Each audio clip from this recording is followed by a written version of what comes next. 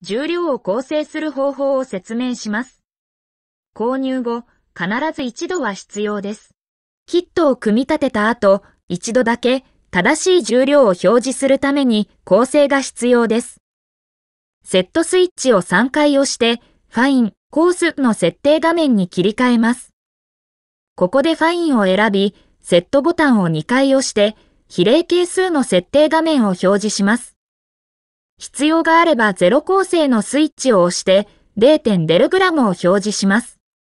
正しい重量がわかる対象物、ここでは 500g の重りを置いて、比例係数を調整して 500g を表示させています。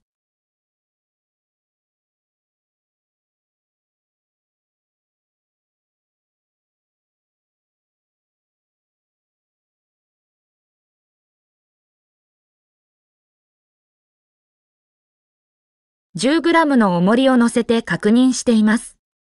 小数点以下は不要なので、表示をコースに戻します。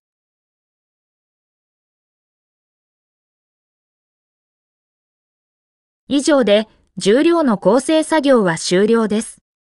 設定した係数は電源をオフにしても消えません。